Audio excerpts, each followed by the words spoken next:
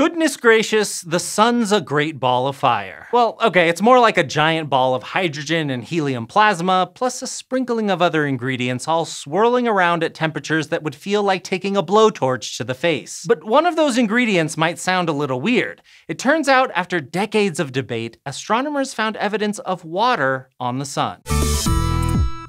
Water is all over the solar system. In fact, some water molecules are older than the solar system itself.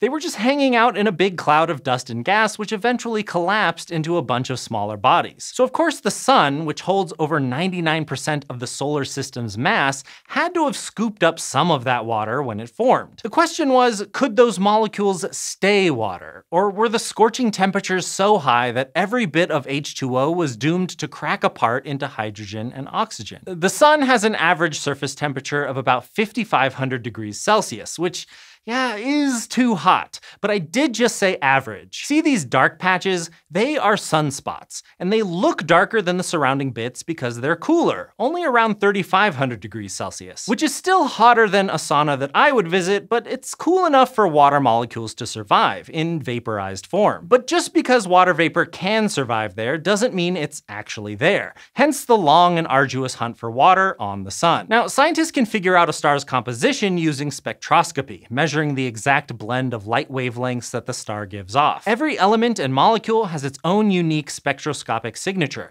but water's is a bit complicated. At certain wavelengths, it can look eerily similar to other chemical compounds that are very much not water. So around the turn of the 20th century, some scientists were arguing over what compounds they were actually spotting in sunspots. Like, was it water or was it titanium? Then in the 1970s, astronomers detected water vapor's signature in the light of red red giant stars. These stars are red because their surfaces are way cooler than our sun's. In fact, their average surface temperature is in the same range as the sun's sunspots. And finally, in the 1990s, scientists found what they were looking for. H2O can indeed hang out in those cooler, darker patches. Now, this might all sound like just a bit of fun, counterintuitive trivia that water can exist atop a fiery ball of plasma. But this fact can seriously complicate our exploration of worlds beyond this solar system. By watching a planet pass in front of its star and measuring how starlight gets filtered through the planet's atmosphere, astronomers can figure out what the atmosphere is made of. And as you may have guessed, one of the compounds they want to find is water. But any detection of water vapor has to come with a caveat.